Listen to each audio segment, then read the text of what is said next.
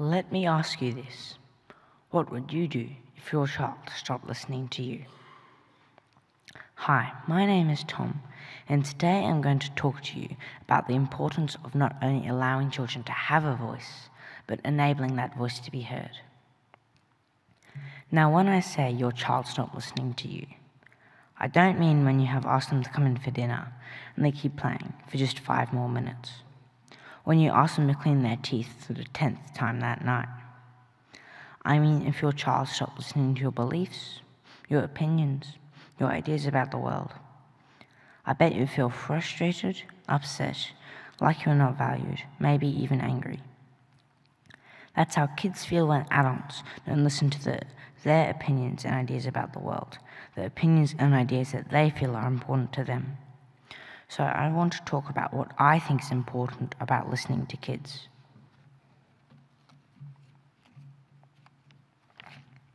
But before I talk about listening to kids, I think we have to take a step back and consider whether kids and young people feel it is worth expressing their opinions at all. Think back to your childhood when you had that great idea. Did you get to share it? Was it listened to? Was it just an idea that stayed with you unspoken and unheard? I know there have been many times where I have said to my parents, There's no point in me asking you, because no matter how good my arguments are, you're just going to say no. When I am asking whether I can have a second helping of dessert, I understand why the answer is no. But how often does this happen when a child has something important to say? Kids can often feel that adults just don't want to listen to them. But imagine this was not the case.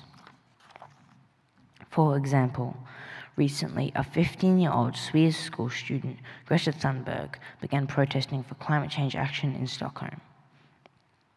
Initially, Greta was ignored by the adult politicians, and it seems many adults in Sweden. But she persisted because she felt that what she had to say was important. Because Greta's parents really listened to her and understood she was genuinely concerned about climate change and the impact it was having on the earth, they allowed Greta to stop going to school and to protest outside of Parliament. Slowly, over time, other students and adults joined her protest. And just a few weeks ago, the German Chancellor Angela Merkel said she supported the weekly school protests and welcomed the students who were protesting for climate protection. Now, students all over the world are taking action to voice their concerns about climate change and the impact it will have on their future. Two weeks ago, students from all over Australia joined Greta in a weekly protest. Tens of, tens of thousands of students took to the streets to voice their opinions and express their concern about climate change. Given children are the ones who will be living on this planet in the future, I cannot stress of a more important topic about which children should be consulted and listened to. But if Greta's parents had not stopped and truly listened to her, she might not have thought it was worth persisting. She might not have thought her ideas were valued. She might not have sacrificed a comfortable life of going to school each day to make her opinions heard. But thank goodness she did. And sometimes ideas can be important to a child, even if adults don't think they are. And sometimes it can be important, very important, not only to the child, but also to the world. So I think the first step in children having a voice is letting them know their opinions are valued.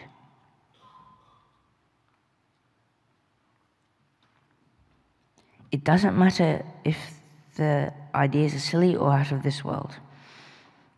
I can't say that every idea I've heard an adult suggest has been any less crazy than kids. For example, the current president of America has probably made some decisions that could have been made by a kid.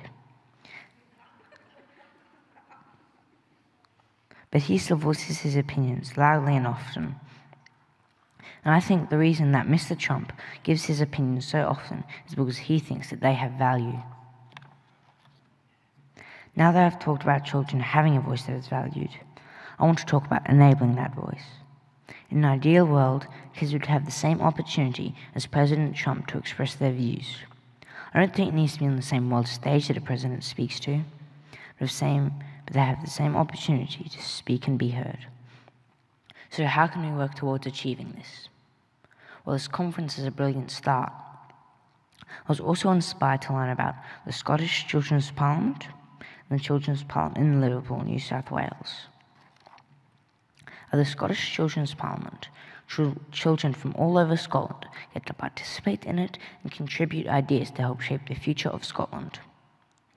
They also get to meet with prominent leaders of the community to share their ideas. And I particularly like the motto of the Scottish Children's Parliament, giving ideas a voice.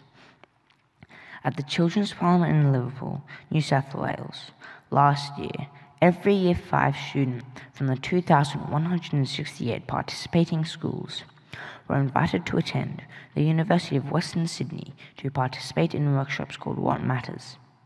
I can only imagine that would have been an amazing event and what an amazing opportunity for those students, children being given a voice right here in Australia.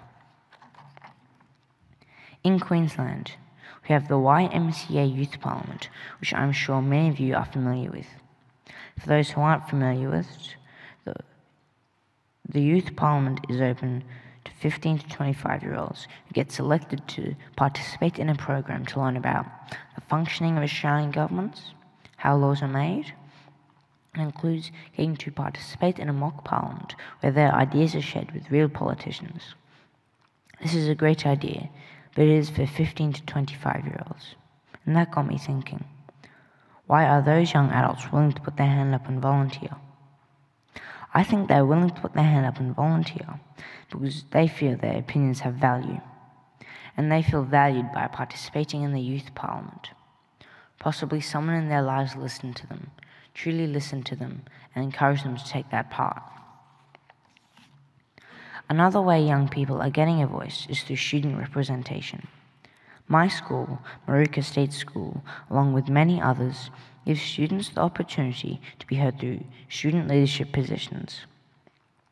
I'm fortunate to be part of my student council, and in that role, I get to speak to teachers and students about matters that are important to me and my school. This is another great platform for young people to have the opportunity to express their views. What about kids who aren't in leadership roles?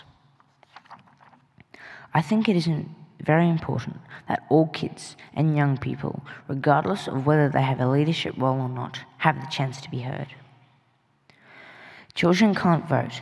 I get why. But I think one way every child should be given the opportunity to be heard is if they are taught at primary school about the opportunities that exist for them to express their opinions. From just talking to their parents or teachers, to writing to their local member of parliament, all the way to representing other kids at children's parliaments. And as part of that subject, I think each kid should be given the opportunity to come up with an idea that is important to them, then to choose who they would like to tell their idea to, and then to practice actually communicating their idea to that person. I think it would be great for every kid to have that opportunity. I also understand that many of you, if not most of you, work with or for children. So you probably already spend a lot of time listening and talking to kids, which is great. Please keep doing that. So I think the second step in children having a voice is ensuring that they are provided with the opportunity to express their ideas.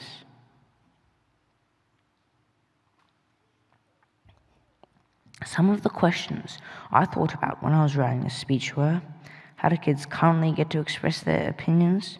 And how does every child's voice get to be valued in the same way?